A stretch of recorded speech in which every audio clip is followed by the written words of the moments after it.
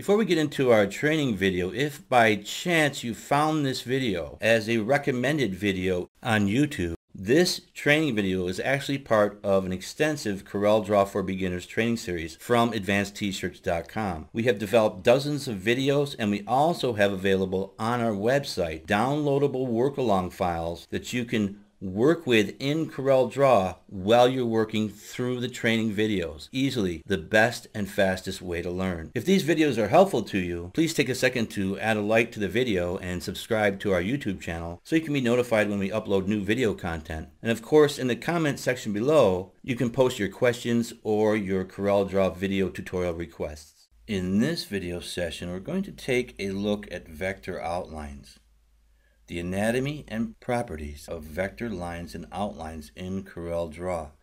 Here I have the object properties docker, and I also have that open here in my Corel Draw workspace where I have my docker customized to the left hand side. And here we can see all of the different properties and attributes and adjustments we can make to lines and outlines in Corel Draw, and there are many of them. And we want to be aware of them because we can use them effectively in our graphic design workflow and in our production artwork flow. We have outline width, color, style, miter limit, corner style, cap style, outline position, arrowheads, styles, a nib that's interactive, and more. Let's scroll down. We'll start with the basics so we understand what we're working with. Let's take a look at outline components.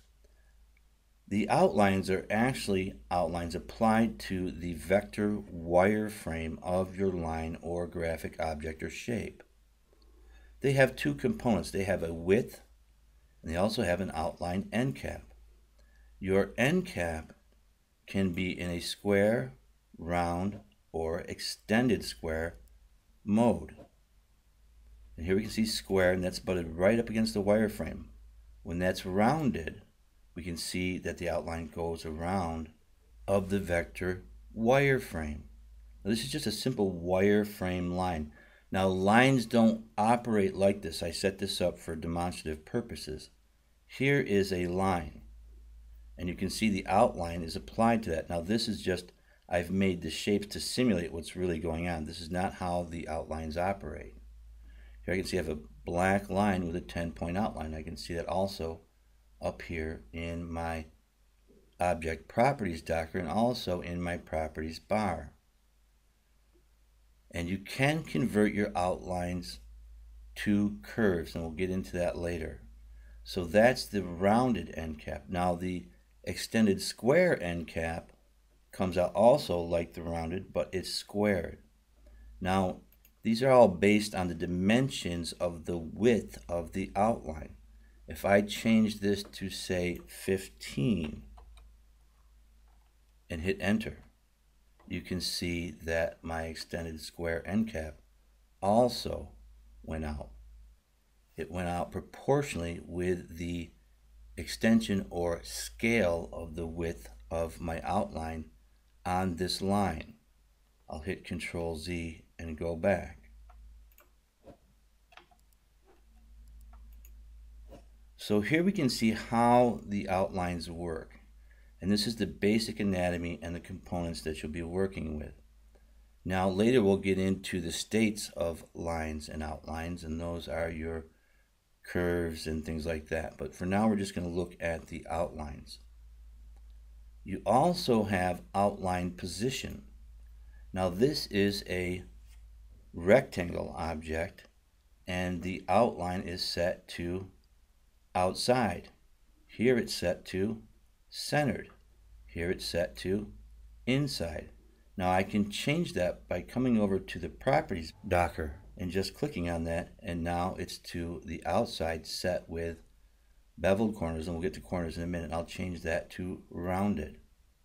You can see how I can make these changes in the object properties docker to my outlines by selecting them or changing them in my object properties docker. It's the same with a simple line. This is set to an end cap of extended square. I could change that to Just a left click, round cap, and you'll see the change. Or I could go to square.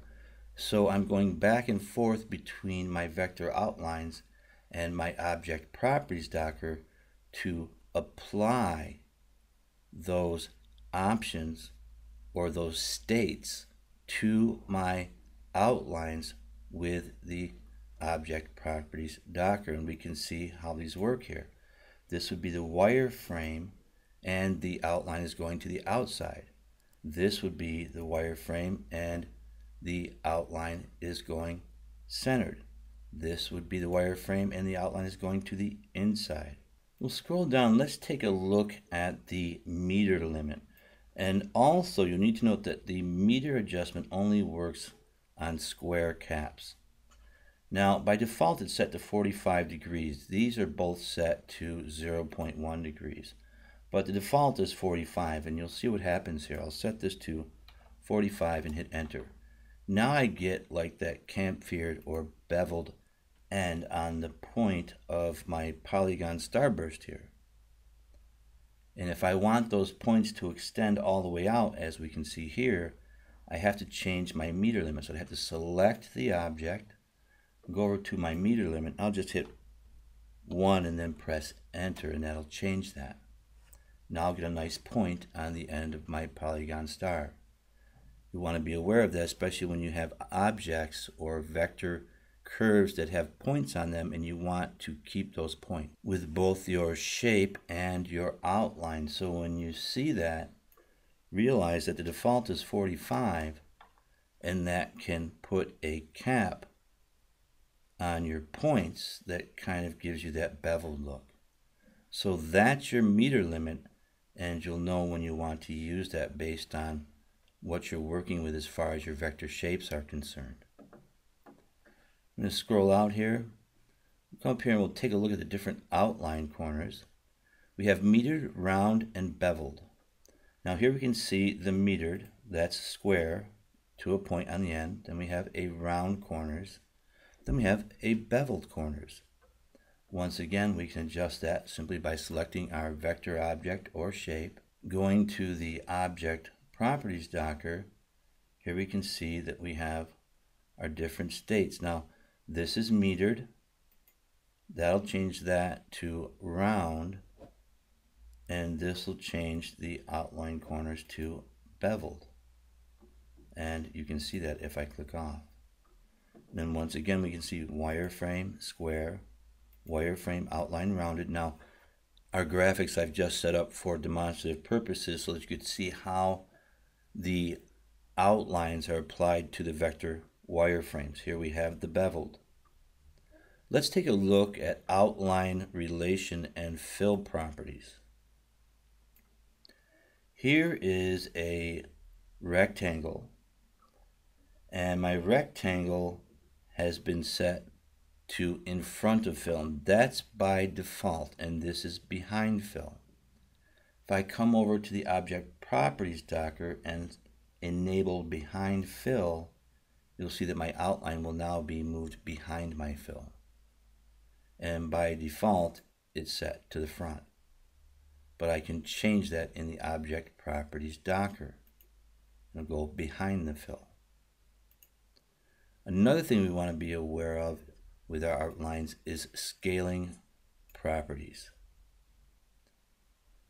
If an object is set to scale with outline, which this one is, but this one is not, there will be a dramatic difference when you scale or enlarge the object.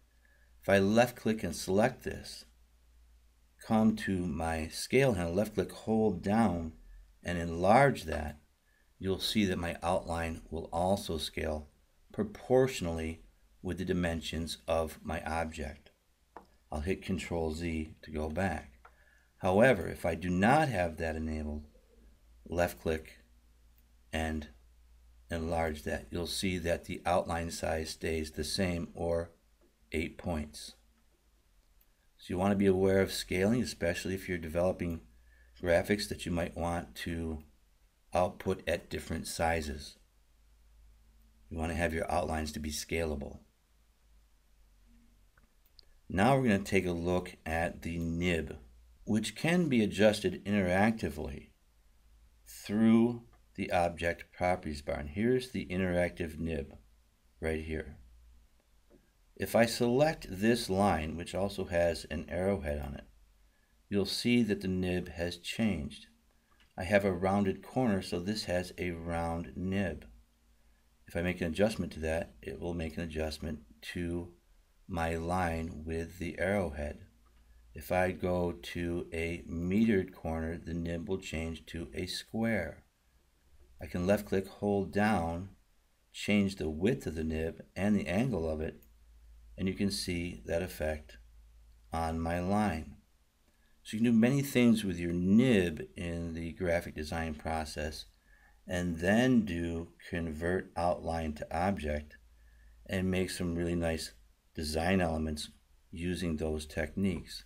Here I have the same sort of setup with a line style applied to the outline in Corel Draw and the nib has been adjusted. So these are the fundamentals and properties of vector lines and outlines in Corel Draw. You'll want to take some time to practice and work with these and get familiar with them. It's not difficult and you'll find them very useful in your graphic design workflow process. We'll wrap here and we'll continue in our next video session.